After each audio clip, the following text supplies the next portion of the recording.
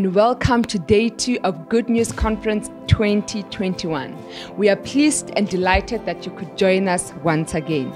My name is Kulufelo Kele and I will be your host again this evening. Today is Holy Saturday, the day leading to Resurrection Sunday, where our Lord and Savior Jesus Christ rose from the dead. Amen. And now we are going into a time of worship shortly.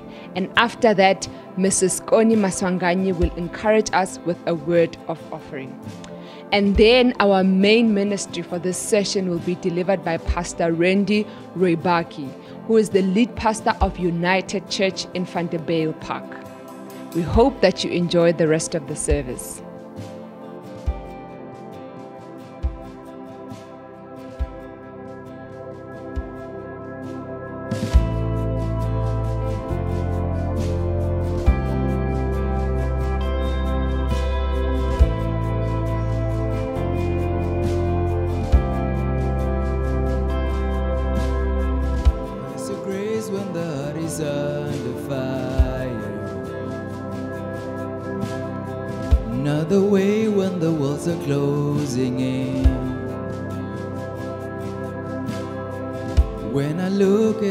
Between where I used to be and this reckoning, I know I will never be alone.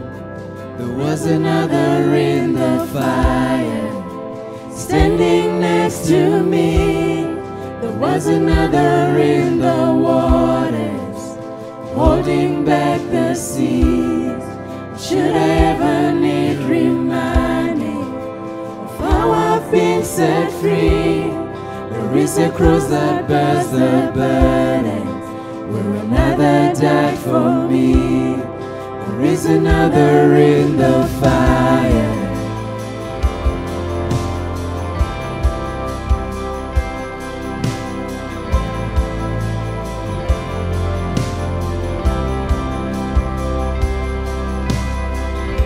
My dead left for dead beneath the waters.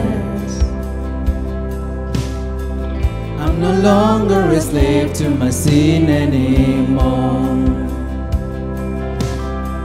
Should I fall in the space between what remains of me and this reckoning. Either way, I won't bow to the things of this world. I know, I know I will never be alone. There is another in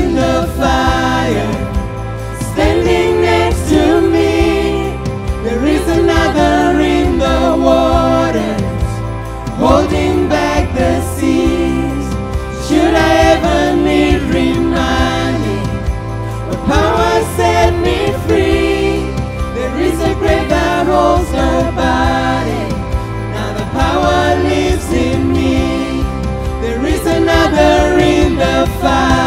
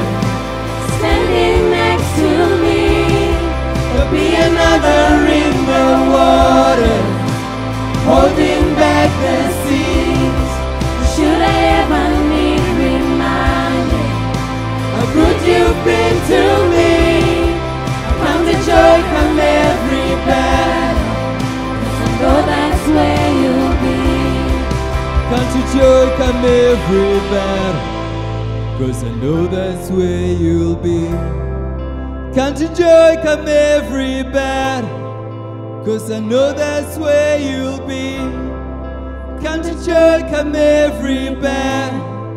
Cause I know that's where you'll be. Come to church, come everywhere.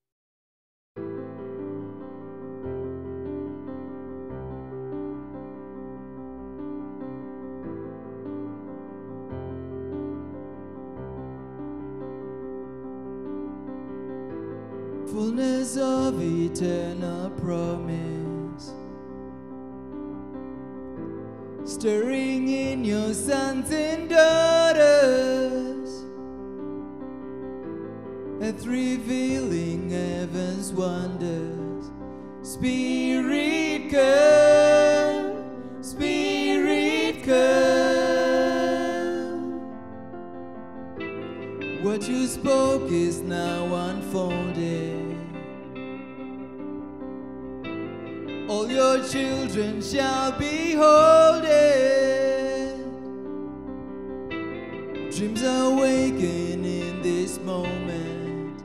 Spirit, come, Spirit, come, pour it out. Let your love run over here and now. Let your glory fill this house. Pour it out. Let your love run over.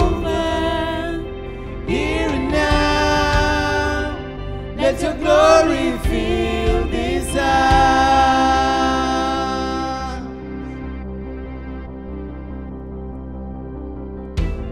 Now the world awaits your presence, and this power is within us. We will rise to be your will.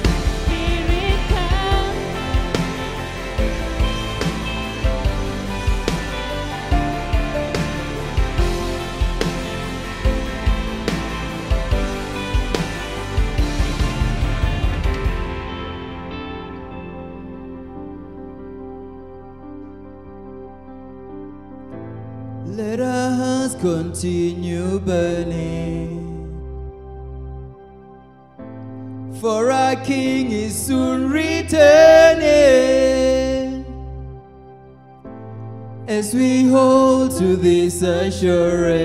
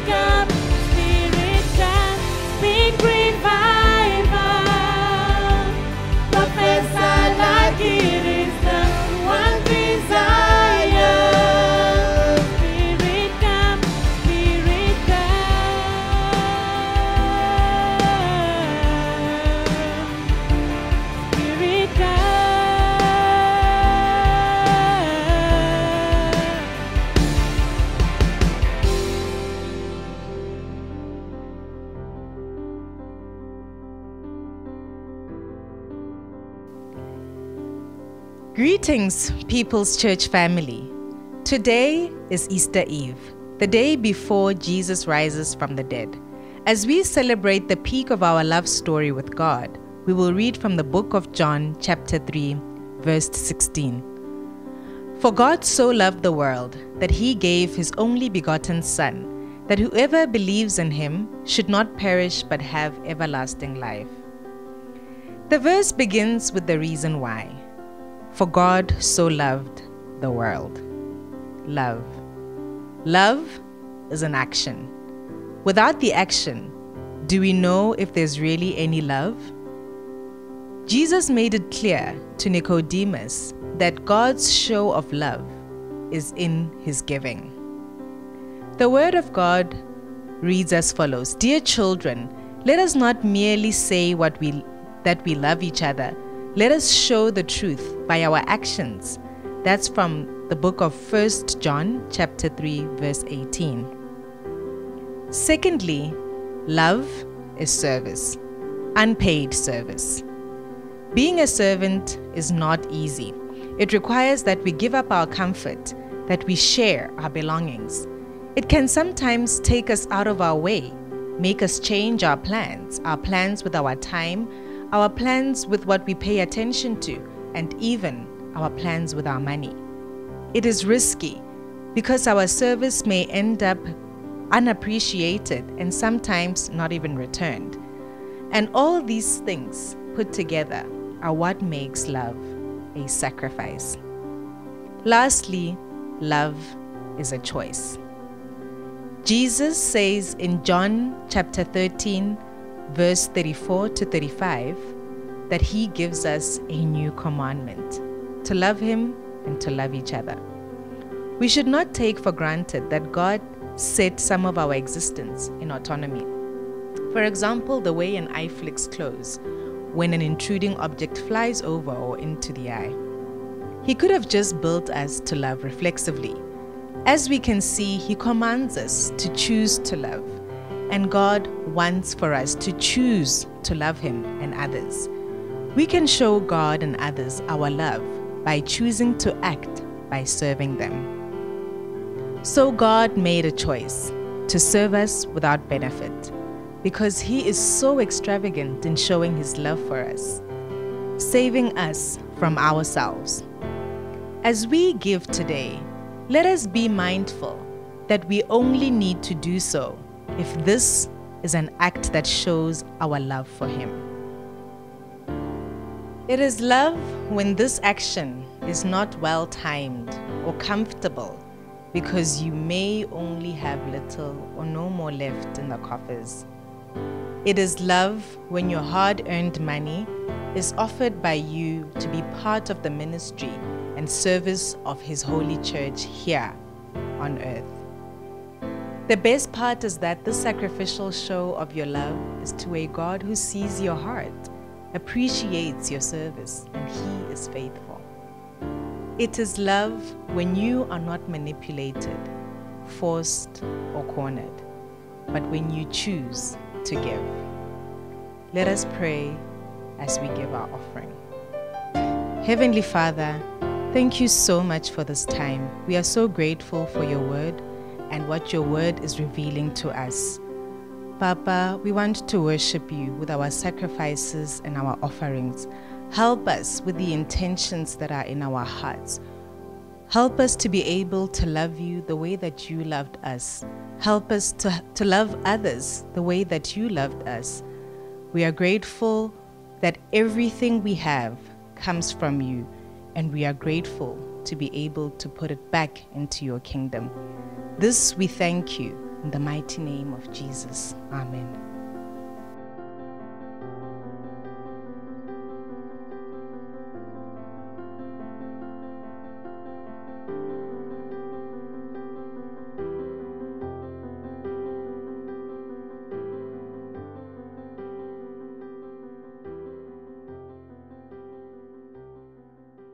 Hello, People's Church Polokwane. Hey, it's so good to be with you. What an honor to be able to serve you in this way. For a second, I just want to take the time and honor Pastor Mondley and Kolo, phenomenal friends of ours, building a phenomenal church with you guys. And I'm so excited to see what God has done, but also what God will continue to do. Hey, let me encourage you continue to honor your leaders, continue to pray for them, lift them up in prayer because the task that God has called them to is absolutely phenomenal and they're going to need your help and they're going to need your prayers. And so, hey, let us continue to honor them and serve them as God calls them to build His church. What an honor to be a part of building the kingdom of God. Before I begin, I just want to introduce myself. My name is Randy, and I'm the lead pastor of United Church in Vanderbijl Park in the deep south. We're like on the border, the last little border of Gauteng. And so, if you ever find yourself in this part of the world, why don't you pay us a visit whenever you get a chance? And um, hey, here's a picture of my beautiful family. This is my wife. Her name is Shani, and my two kids. My son is Levi, he's five years old and my daughter's name is Amelia, and she turns three, but it feels like she's 23. Please pray for us. When you've got little ones like this, life can be a mess. But hey, let's get straight into the message. I don't want to take too much time. Let us pray and let us get into it today. Dear God, we thank you for the privilege of meeting together at this time. Though we meet online, there is still power in community and connection. And so, Jesus, may you be with us. Thank you for the fact that we can commemorate your life, death, and sacrifice for us. And so may this message bring life, May it bring hope and may it teach us what you are wanting to speak into our hearts today. We pray this in your name. Amen. Amen. Amen. Hey, I've got the privilege of sharing just a few thoughts on what it means to be built to last. I love this vision of yours, and I love what you guys are speaking about. I love one of the definitions of what it means to be built to last is being able to withstand the test of time. Being able to withstand the test of time. Everything that God has created has been built to last. Isn't that true? God doesn't do things just quickly. God doesn't just do things as a fly by night. When God establishes something, He establishes it to last. You know, when I think about the illustration of this, I think about how there are some machines that are built, but it doesn't always feel like they are built to last. Isn't that true? However, if we do want them to last, usually it comes with some sort of um, instruction manual or some sort of boundary or some sort of care instruction to show you how to care for it so that it lasts. I mean, think about it. When you buy your clothes, there's normally a tag at the back that says, you know, do not dry clean or, you know, don't iron too hot, otherwise you burn the fabric. When you buy your phone or any technological device, it comes with, you know, with warning labels that we don't usually read. We just take our stuff out the box and we throw it away because, you know, we'll sort that out later. And we don't, we don't, we don't take the time to read it. And so normally those instructions help us to care for it so that it can last. Isn't that true? I thought about when you buy a car. Many of you uh, might have had to buy a car for yourselves, or maybe have driven in someone else's. And when you look at a car, I love the analogy of a car. In fact, that's the image that I want to use today in order to help drill this in for you and for me to understand. When you think of a car, a car has so many elements attached to it in order to not only protect us, but to protect what it comes with. So you've got the engine right up in the front, and the engine is normally protected by a bonnet and a grill that helps protect the car from the weather elements, but also make sure that the engine is neatly tucked away so that no harm comes to it. Have you ever noticed, you know, we don't drive around, our, uh, around town or around the country with our bonnets open. Eh, well, at least we shouldn't. Hopefully, you're not doing that. Um, you shouldn't be doing that because the bonnet just helps keep the engine closed. It helps protect it from elements so that your engine can last and your car can take you further where you need it to be, right? You've got a windscreen. What does your windscreen do? Your windscreen protects you from whatever is coming towards you while you are driving. And so normally if you're driving at night, you would know that, you know, you're driving to all sorts of bugs and insects and, you know, all sorts of flying creatures. Imagine your windscreen wasn't there. Suddenly everything coming your way would fly straight into your face and the last thing you want to be doing is driving down the road going you know, spitting out all sorts of bugs. You don't want to do that. And so your windscreen's there to protect you from that. Also from harmful, dangerous objects. If anything comes flying from the road, it hits your windscreen first. And you might have known what that feels like if you've ever had your windscreen being hit by something. And then finally, for the passenger in the car, you've got all sorts of safety elements. You've got your seatbelt, which is there to protect you so that if you do end up in a collision, you know, you don't go flying out the car. You've got airbags that are neatly tucked away, so when something happens, it just pops out and keeps you in the right place. All of these are set in place so that not only the engine, but the passenger are protected so that it takes you further and so that you last. If you want your vehicle to last, you need to care for it well. Care for the engine, make sure that all the safety protocols are observed, then your vehicle will last. But if you want the, if you want the passenger to be safe, make sure you observe the limitations. If you take care of it, it benefits you. But if you neglect it, you put yourself at risk. Isn't that true? I mean, imagine just tomorrow morning all of us decides, you know what? All of these boundaries, all of these limitations, they really just cramping our style. I'm just going to take my bonnet, chuck it off. I'm going to take my windscreen off because I want to feel the wind in my hair as I drive, you know, whatever hair is left. You know, if we just decide to do that, what do we do? We put ourselves at risk. Don't we do that? If you decide to remove all of that, you put yourself at risk. This is the analogy that I want to use as I speak about how the church has been made to last. In Scripture, we learn that the church is God's chosen vehicle for transformation. Jesus says, I will build my church. The church is God's chosen vehicle for transformation in our, in our world and in our community. God chose the church to do or to outwork His purpose for creation. I love the church. I've decided to give my life to the church. This is what I believe God has called me to do. And many other leaders and many other people in your church have been called to be a part of building God's church. In 1 Timothy chapter 3, verse 15, um, it says, This is the church of the living God, the pillar and the foundation of truth. Paul understood what the church was and the power that it carried. It was the foundation and the pillar of truth. We need to understand that the church is God's chosen vehicle for transformation. And Jesus says, I will build my church. I will build it. And when I build it, it is built to last. It's not a fly by night. It's not a come and go. It's not just another organization or corporation that comes one generation and is gone the next. No, the church has withstood the test of time. The church has endured perse- uh, persecution, it's endured all sorts of um, all sorts of external elements, and it is still here. And you know what? Long after you and I are gone, it will still be here because the church is God's chosen vehicle for transformation. Yet, when God established the church, or when Jesus establishes the church, he creates limitations around it to make sure that it will last. Here are just a few examples. I can't dig into all of them for the sake of time. But one of the things that the church is meant to observe is to submit to the authority of Jesus. Like Matthew 16 19 says, Jesus says, I will build it. It is Jesus' church, not yours and mine, to do with what we want. Jesus is the author and he is in authority over the church. And so, if the church wants to last, it needs to be submitted to the authority of Jesus. It needs to be led and empowered by the Holy Spirit. We see this in Acts chapter 2 when Jesus commissions and we see the birth of the church. He says, And the Holy Spirit will come upon you, and you will be my witnesses. And the Holy Spirit will empower you to be who I've called you to be, to be the church. And so, if the church is going to last, it needs to be empowered by the Holy Spirit. We cannot do this in our own strength, it won't last.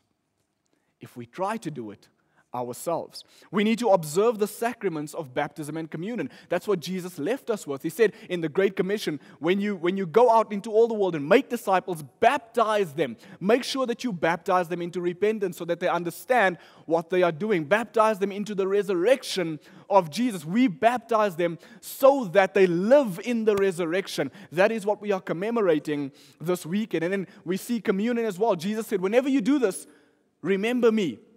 Communion keeps the sacrifice of Jesus at the forefront of our lives. And so, this is what we are called to observe so that we are never tempted to do with it what we will. And then finally, we need to honor the Great Commission. Like I mentioned earlier, Matthew chapter 28. If the church is going to last, we need to honor the Great Commission and the great commandments that Jesus has given us to honor and to follow. And so this function uh, functions as the engine that causes the church to continue going. And if it's going to continue going and get us to where God has called us to be, we need to make sure that we observe all of these and care for them well. It's kind of like, you know, when you drive your car, you need to make sure the engine is taken care of. Make sure you top it up with oil. Make sure you've got water. Make sure you've got fuel so that it can keep going. The moment you neglect that, you put the engine at risk. The moment you and I neglect what Jesus has called us to observe, we put the church at risk.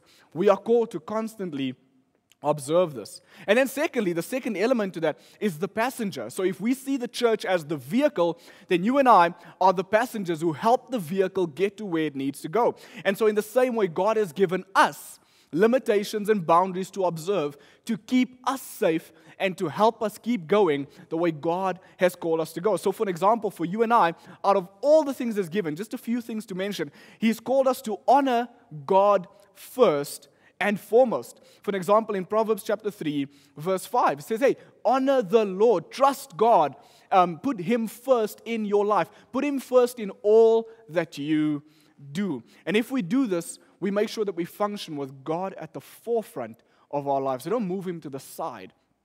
God is at the front.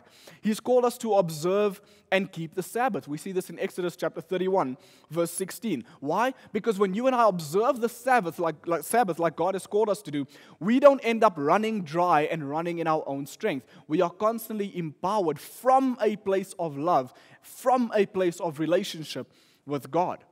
See, many people don't observe this, and so we find ourselves running dry, and we end up not lasting the race. We end up not, being, not, not having endurance to last until the end because we don't observe the principles that God has called us to observe. observe. He said to us that we need to live generously and care for the poor. Why? Because then we maintain a outward focus rather than maintaining an inward focus. The church maintains an outward focus. You and I always think about others. That's one of the values for our church at United Church. In fact, the vision for the year for us is to make 2021 a year for others. If the church is going to last and get to where God has called it to be, it needs to constantly be outward focused. We need to forgive quickly, like Ephesians 4, verse 32 says. Don't hold on to grudges. Forgive quickly. Why? Because if we hold on to grudges, what ends up happening is we short circuit our growth and progress and we end up stagnating ourselves. People who don't forgive don't go very far because the forgiveness does more harm on the inside than what we realize it does. And so we are called to forgive quickly if we're going to go on the mission that God has called us to go on. We are called to live justly, like in Isaiah chapter 1, verse 17. It says, Learn to do good, seek justice, help the oppressed, defend the orphans, and, um, and fight for the widows. And so, if we are going to last and go where God has, God has called us to be, if we are going to be God's chosen vehicle for transformation, then you and I need to observe all of these. And then finally, we are called to live generously through tithing and honoring God, like Proverbs chapter 3, verse 9. Honor the Lord with your wealth and with the first fruits of all that you acquire. Why? Because if we do this, we allow the church to keep being the church. If we withhold that, we short circuit the impact the church can have. See, all of these things are set in place for the church to continue being the vehicle that God has called it to be. And for you and I, as the passengers, to allow the vehicle to do what the vehicle has been meant to do. See, if we don't observe these boundaries that God gave us, we not only put the vehicle at risk, we put ourselves at risk. We, we stop the vehicle from doing what it's meant to do, or we stop ourselves from doing what we are meant to do. And here's the problem with our culture today, or the challenge that I find, is many people look at these boundaries or the laws that God has given, and they feel like it is more limiting than it is liberating. And so, what our culture does is our culture removes all the boundaries that God has given. The, the, culture says, you know what, we don't really need the bonnet. Um, we're just going to do away with that because the bonnet kind of prevents us from really seeing what's meant to go on. And we don't need the windscreen. It just kind of have this, this boundary, and, and we want to remove that. And so they remove the windscreen. And you know what, these doors kind of limit my freedom of movement. And so we remove the doors. And what ends up happening is we sit with the shell. And when we are exposed to the elements, and when life doesn't go our way, and we are more at risk of getting hurt, we end up looking at God and saying, What happened? And God is like, Well, I had given you boundaries to observe. You didn't observe them. And unfortunately, your relationship, your marriage, your business, your family will, might not last because you have chosen to remove the boundaries that I've set in place. And for you and I, we sometimes, if we are not careful, we can end up removing the boundaries, the limitations that God has set in place to guard us so that we can last. If you want your business to last, apply the principles that God has given us regarding business. If you want your family to last, apply the principles that God has given us so that families could last. Honor each other, uh, function with mutual submission for one another, love unreservedly, forgive quickly. When we do these things, we begin to last. Same as with the church. If you and I can be selfless when it comes to the church, serve humbly, serve one another, pray for one another, love unconditionally, forgive quickly, tithe, make sure that you are generous, care for the poor, honor God, function from the power of the Holy Spirit. When we do this, the church will last. When we fail to do this, we put the church at risk. See, the church has and will continue to stand the test of time. The church will always remain resilient. The church will always continue to grow despite its persecution and opposition. Why? Because the church is God's chosen vehicle for the transformation of the world that God has put us in. The church will continue to be God's chosen vehicle. God hasn't chosen anything else.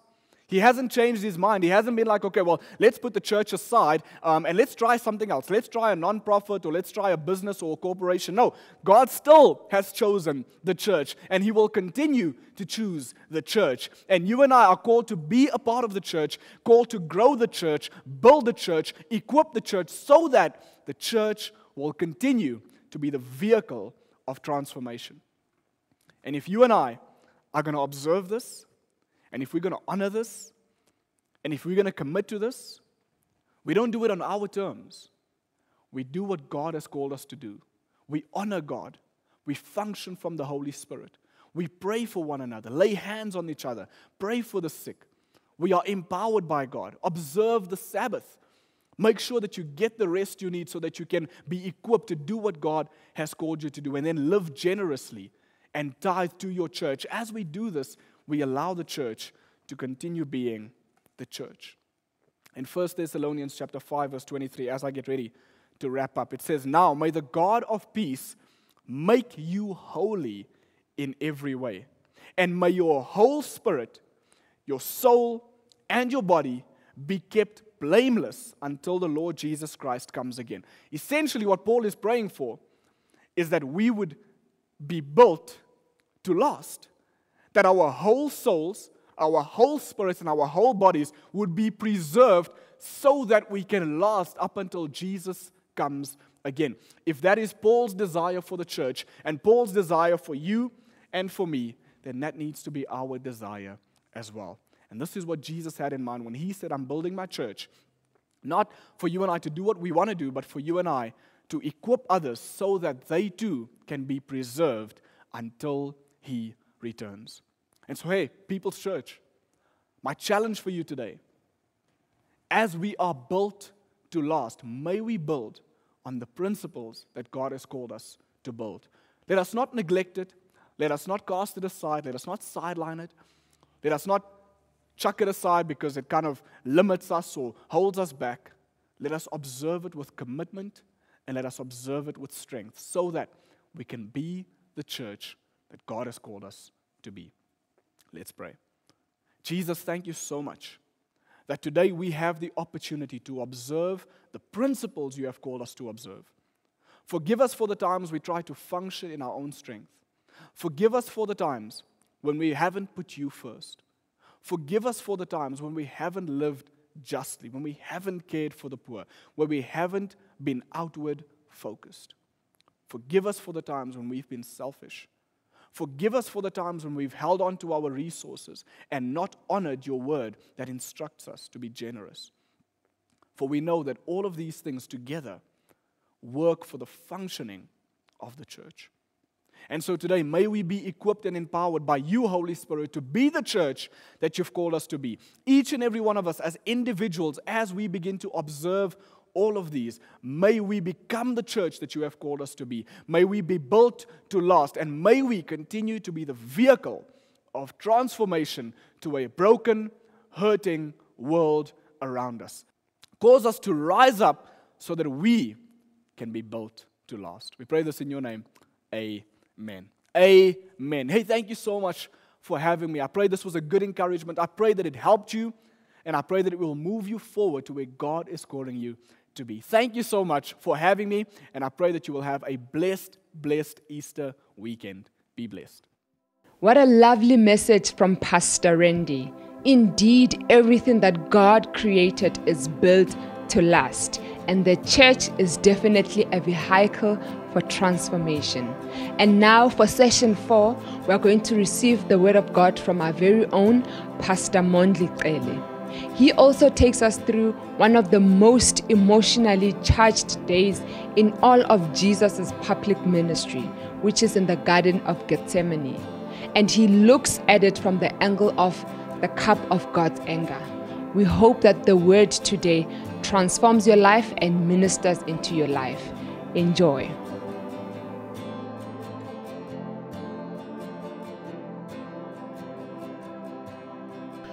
So, good evening. We hope that you're still enjoying the conference so far. And I really trust that God has already done a work in your life. And for tonight's session, I'm going to be focusing on Matthew chapter 26, from verse 36 to 46, and this is how it reads. It says, Then Jesus went with them, talking about the disciples. He went with them to a place called Gethsemane. And he said to his disciples, Sit here while I go over there and pray. And taking with him Peter and the two sons of Zebedee, he began to be sorrowful and troubled. Then he said to them, My soul is very sorrowful, even to death. Remain here and watch with me. And going a little farther, he fell on his face and prayed, saying, My father, if it be possible, let this cup pass from me. Nevertheless, not as I will, but as you will. And he came to the disciples and found them sleeping. And he said to Peter, So, could you not watch with me one hour? Watch and pray that you may not enter into temptation. The spirit indeed is willing, but the flesh is weak. Again, for the second time, he went away and prayed, My father, if this cannot pass unless I drink it, your will be done. And again he came and found them sleeping, for their eyes were heavy. So, leaving them again, he went away and prayed for the third time, saying the same words again. Then he came to the disciples and said to them, Sleep and take your rest later on. See, the hour is at hand, and the Son of Man is betrayed into the hands of sinners. Rise, let us be going. See, my betrayer is at hand. Let us pray. Heavenly Father, thank you so much for your word. We pray, Father God, that you may do your work in us through this word. Through this word, Father God. Pray that you may speak into our lives, that you may transform us, that you may change and transform our view of you and our view of the Lord Jesus. Help us to appreciate what you did for us this weekend so many years ago. Pray for all this in Jesus Christ's mighty name. Amen. So, this account for me is definitely or certainly one of the most emotionally charged days in all of Jesus' earthly ministry. Think about it. They had just finished eating the Passover meal, where Jesus pretty much revealed that Judas would hand him over to his enemies. Shortly after that, Jesus told Peter that Peter would deny him three times that very same evening. And then now, Jesus takes the disciples to a place called Gethsemane, which means the oil press. And this is where we get this account that we have just read. And we are told that Jesus prayed earnestly for the Father to take the cup away from him. And I'm not sure if there is another instance in the entire Bible where Jesus prayed and said the same thing three times. We are told that you know he prayed two times for, for that man to, to be healed, or for his blindness to be healed. But here we are told that Jesus prayed and said the same things three times. This for me demonstrates the seriousness of the issue Jesus was praying about. This wasn't one of those things that you just pray once and completely forget about. This was more serious than that. It literally was a matter of life and death. And think about this. This was this evening this uh, what is happening now was actually the culmination of jesus' entire earthly life and ministry. Everything in his life had been pointing to this very moment. This was the night that he would willingly give his life as a ransom for many. From the moment he was born from as early as that, and each and every passing day from that moment brought him one day closer to this very moment. And now the moment had come, and it was as real as ever. And so, the thing that I want us to focus on tonight is just this issue of the cup, where Jesus prays three times for the Heavenly Father, for His Father, to let this cup pass away from Him. What was this cup that Jesus was praying about? And so, it's difficult to know for sure, uh, but there are definitely some hints and some clues when you read the scriptures.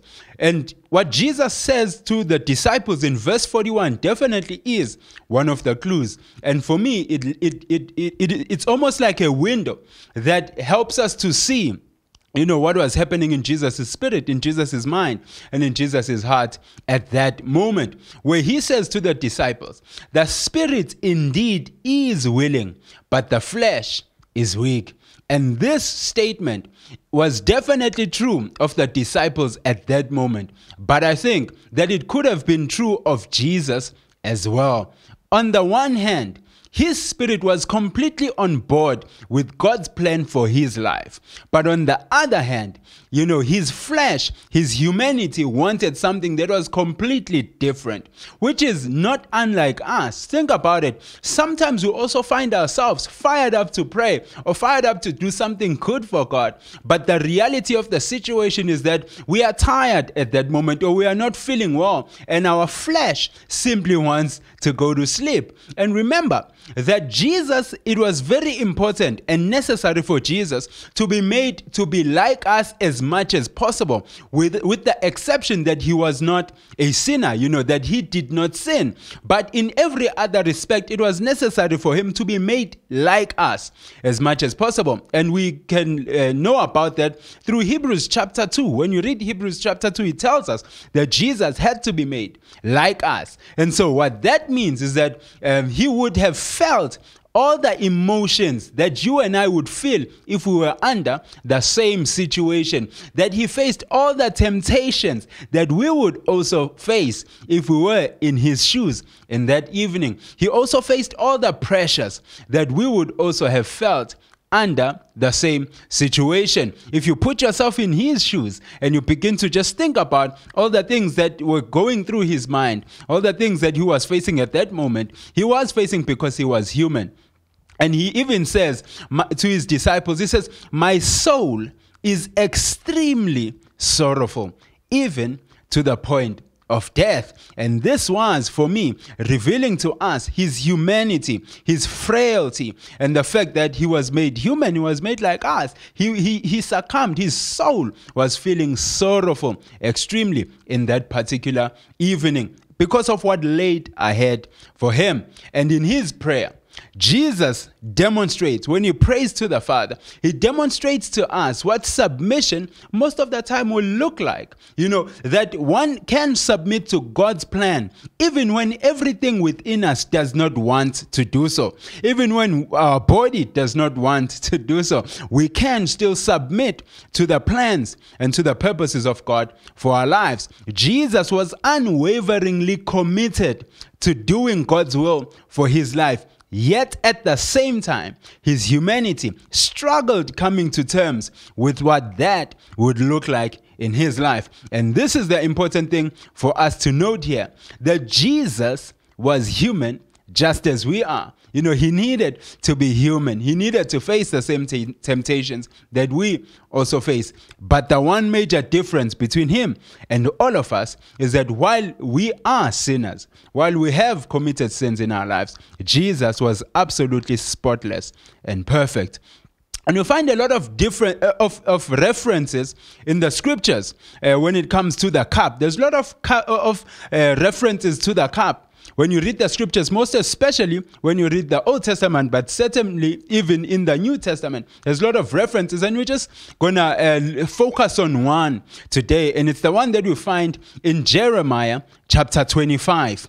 And and before we, we go to the to that actual scripture, Jeremiah had a very difficult job. Jeremiah was a prophet sent by God to proclaim to the nation of Israel and to proclaim to, to other nations in the world, to proclaim the judgment of God upon them. And the and the hope was that the nations, you know, the nation of Israel, the people, when they hear that God is gonna judge them because of their sins, that they would repent. That was that was his job. You know, that was his his calling was to go and proclaim this judgment, this message of judgment to the whole world with that hope that people would repent. And in Jeremiah chapter 25, verse 15, this is what we find. It says, Thus the Lord, the God of Israel, said to me, Take from my hand this cup of the wine of wrath, and make all the nations to whom I send you to drink it. They shall drink and stagger and be crazed because of the sword that I am sending among them. If you go to verse 27 to 29, this is what he, continues to say. God says, Then you shall say to them, Thus says the Lord of hosts, the God of Israel, drink, be drunk and vomit. Fall and rise no more, because of the sword that I am sending among you. And if they refuse to accept the cup from the hand from your hand to drink, then you shall say to them, Thus says the Lord of hosts, you must drink. For behold, I begin to work disaster at the city that is called by my name, and shall you go unpunished? You shall not go unpunished, for I am summoning a sword against all the inhabitants of the earth, declares the Lord. And this was God's judgment on the nations for their sins and rebellion. And he says, Not even the city that is called by my name will be able to escape this. So, do you think that you will be able to escape it? Surely not. If the city that is called by my name will also not escape, you will also not be spared of this judgment. This is the judgment that was going to go into all the, uh, the inhabitants of the earth, as he says. And you may be asking yourself right now, why would a loving God do such a thing to his creation? And the short and, and, and simple answer to that is this it is because that's exactly what we deserve. Think about it in, in the world right now. Think about all the violence, all the bloodshed, all the corruption, all the greed, all the hatred, all the selfishness and depravity that goes on in the world right now. Because of all these things, God is going to judge or, or was sending this judgment to all the nations. And in verse 30 to 31 of the same chapter, this is what Jeremiah wrote. It says, Jeremiah, prophesy against them Tell them, the Lord will roar from heaven like a lion. His voice will sound like thunder from his holy temple. There, he will roar loudly against his land. He will shout like those who stomp on grapes in the winepress. He will shout against everyone who, who lives on earth. The noise of battle will be heard from one end of the earth to the other. That's because the Lord will bring charges against the nations. He will judge every human being. He will kill sinful people with his sword. And here is the thing this prophecy along with so many other uh, uh, judgment prophecies, especially in the Old Testament, were actually uh, prophesying about a future judgment, which is called the capital D, Day of Judgment. If you've seen those uh, uh, references in the Bible, it's the capital D, Day of Judgment, or the Day of the Lord. That is what they were actually uh, prophesying about. They were prophesying about that judgment in the future where God will judge each and every person who has ever walked the earth. And there's so many prophets in the Old Testament that actually prophesied about that day, the day of the Lord, the, the, the, the day of judgment that is coming in the future. And Jeremiah was joining those ones and also prophesying uh, when it comes to that judgment. And there's so many prophets, as I've already mentioned, that prophesied uh, about that day of judgment. You can think about Joel, you can think about even Zephaniah, Isaiah. There's so many prophets that actually prophesied about it. And so I'm just going to read just two uh, prophecies that prophesy about that day of judgment. And the first one is in Joel chapter 2, just verse 1 and 2. It says, Priests, blow the trumpets in Zion, give a warning on my holy mountain. Let everyone who lives in the land tremble with fear. The day of the Lord is coming. It is very near. That day will be dark and sad. It will be bla- it will be black and cloudy. A huge army of locusts is coming. They will spread across the mountains like the sun when it rises. There has never been an army like it, and there will never be another for all time to come. This is the, the judgment day that that um, God sent prophets to prophesy about and to warn the nations about in Zephaniah chapter 1, verse 14 to 17. This is what it says It says, The great day of the Lord is near. In fact, it is coming quickly. The cries on that day are bitter. The mighty warrior shouts his battle cry. At that time, I will pour out my anger. There will be great suffering and pain. It will be a day of horrible trouble. It will be a time of darkness and gloom. It will be filled with blackest clouds. Trumpet blasts and battle cries will be heard. Soldiers will attack cities that have forts and corner towers. I will bring great trouble on all people. So they will feel their way around like blind people. They have sinned against the Lord. Their blood will be poured out like dust. Their bodies will lie rotting on the ground. Their silver and gold won't save them on the day the Lord pours out his anger. The whole earth will be burned up when his jealous anger blazes out. Everyone who lives on earth will come to a sudden end. That is the judgment day. That is the day when God judges each and every person, each and every nation that is on the face of the planet. And what they are saying is that the day of the Lord is coming. And they are saying it is very near. And the first question is if it was very near then, how close is it today? If it was very near, you know, during the Old Testament times, how close is the day of the Lord today? It is, I mean, it is unimaginably close. It is any day from now, it could come upon us. And there's one, uh, there is no one who is exempt from that coming judgment. That is the other thing that is clear. All the nations, each and every person, human being who has ever been born and who has ever walked the earth will stand before God and be judged on that day. So no one will be able to escape. And Paul puts it this way He says in Romans chapter 3, verse 10 to 11, it says, As it is written, no one is righteous. No, not one. No one understands. No one seeks God. And so no one is good enough to escape the coming judgment. No one does what is right. No one seeks after God. We all deserve to actually drink from the cup of the anger of God because we are all guilty. We are all sinners. No one, you know, is the exception to this. We all deserve what is coming, which is when it, when the day of judgment comes. But there is good news. I'm not just going to leave you with bad news. There is good news and the good news is that God has made a way for you and I to be able to escape the coming day of judgment. And you may be asking yourself, how has God done that? How has God made that way? And it is in this way. It, it is when, when He caused His one and only Son to drink from the cup of the anger of God on your behalf and on my behalf, on behalf of every individual person who has ever walked the earth. Jesus is the Son of God that God caused to drink from the cup of the wrath of God that was set apart for us, but he drank it on our behalf. And so when, when Jesus was, was praying in the garden, God took the collective sin and guilt of the entire world and placed it upon him and placed it upon Jesus. And on the cross, G- God punished Jesus for the sins of the entire world.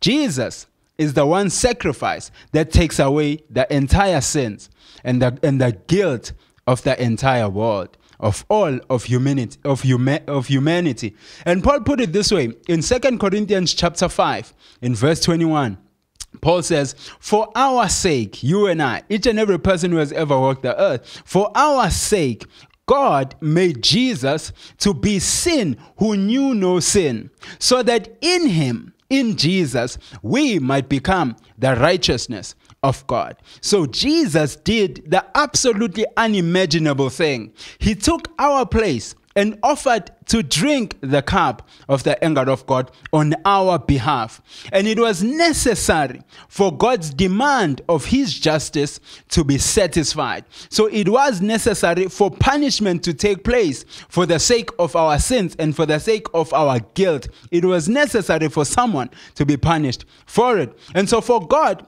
to be a just God, he needed to punish the guilty. That is just simple. That is just straightforward. For God to be just, for God to be fair, he needed to punish the guilty, which is us.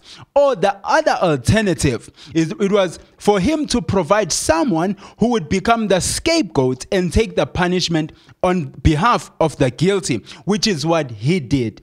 There was no other way for God to justify the guilty without actually serving the punishment, without, you know, causing the guilty to drink from the cup of his wrath or to make someone else drink it on their behalf. And that is the choice that God chose was to was to let us go free, but to punish his one and only son and to cause his son to drink from the cup that was set for us, the cup of the anger of God.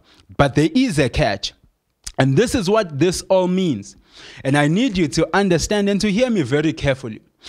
The, the, the thing that I'm saying is that God has made a way for you and I to be justified without you and I actually having to drink from the cup of his righteous anger on our behalf. That is the thing that I just said. And he did that by causing his own son to drink of that cup on our behalf. And this is the important part. Each and every person needs to accept what Jesus did for them personally. No one can do that on your behalf. And equally important, you cannot do that on anyone else's behalf. Each and every person needs to accept what God has done for them through Jesus personally, for themselves.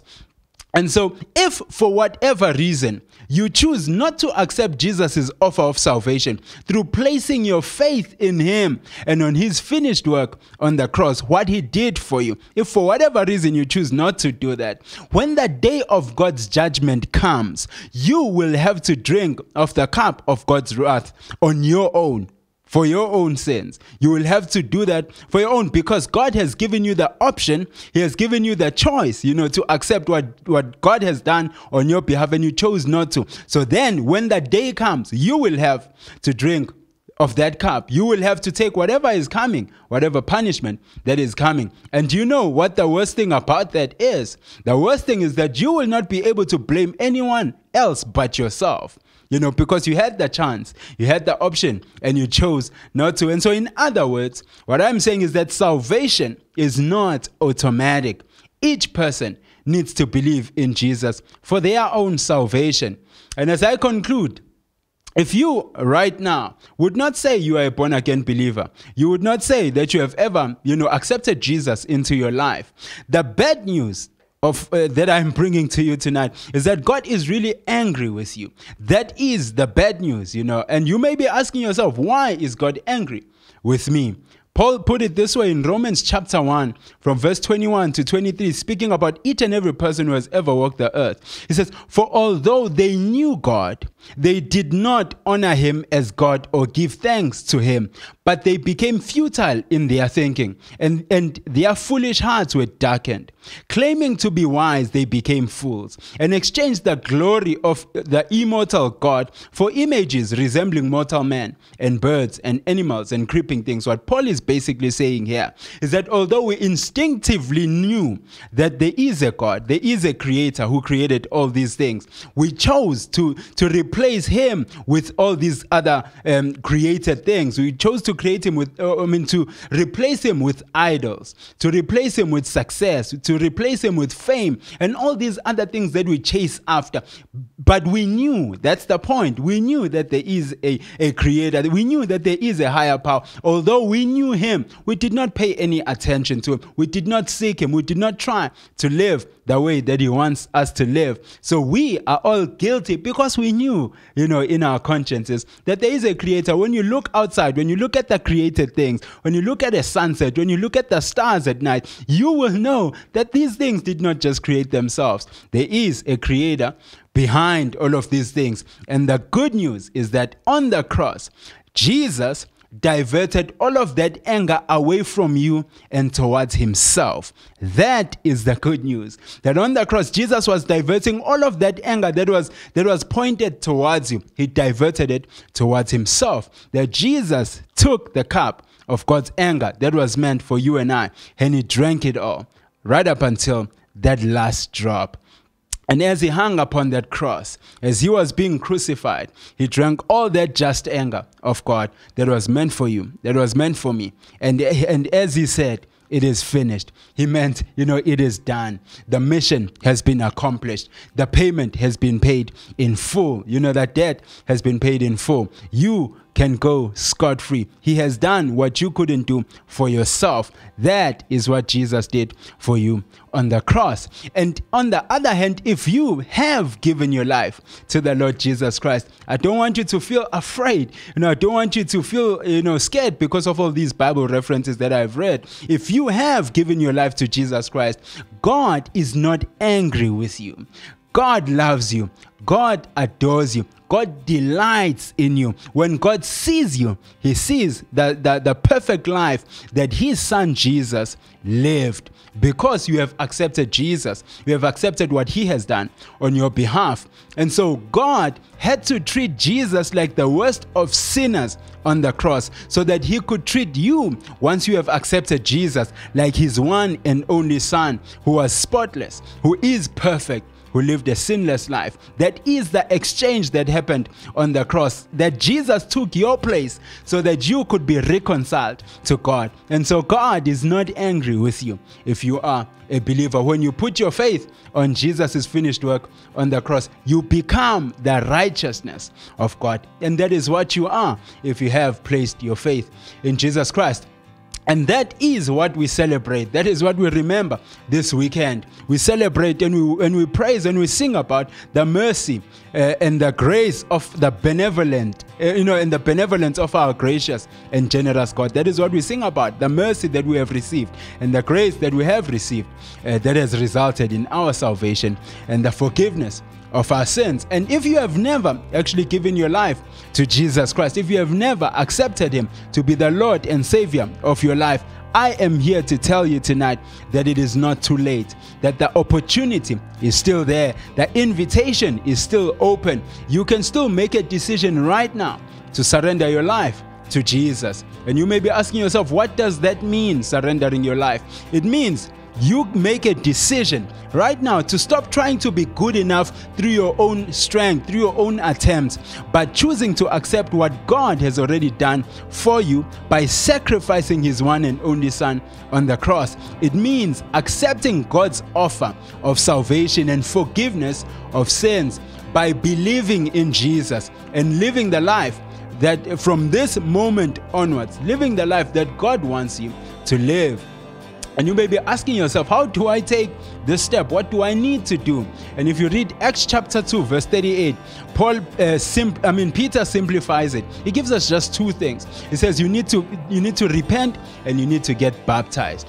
And the first one, repentance. I'll go through it quickly. Repent- repentance basically means to do an about turn, to turn around from your life where you are living for yourself on your own terms and turn towards God and discover what He wants for you. Discover the life that He wants you to live and live according to His word.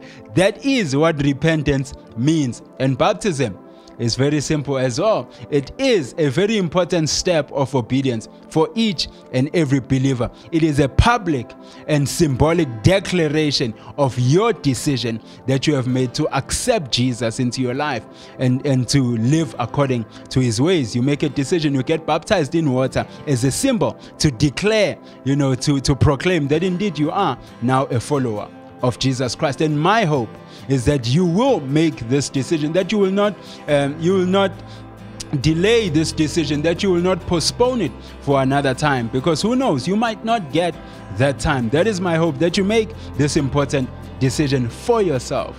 That is my hope and my prayer. Let us pray. Heavenly Father, we thank you so much, Lord God Almighty, for what you have done for us on the cross of Calvary, where you sent your Son to be a substitute for us, to, to, um, to take upon himself the punishment for our guilt, so that our sins may be forgiven and we could become the righteousness of God. Help us, Lord God, to be able to make this important uh, decision, to take this important step in our lives if we have not done so uh, yet, Father God. Help us. This is one of the most important decisions we'll ever make here on earth. And for the rest of us that have already made this decision, help us, Father, to, to always remember what you have done for us and to worship you, to praise you, to glorify your name, and to live a life that is worthy of our calling, a life that will glorify your name. In Jesus Christ's mighty name, we thank you and honor you now and forevermore. Amen. Thank you for joining us, and we cannot wait to see you again tomorrow for day three, which is the last day of the conference. Remember that tomorrow's session will happen in the morning, not in the evening. Enjoy the rest of the evening and see you tomorrow.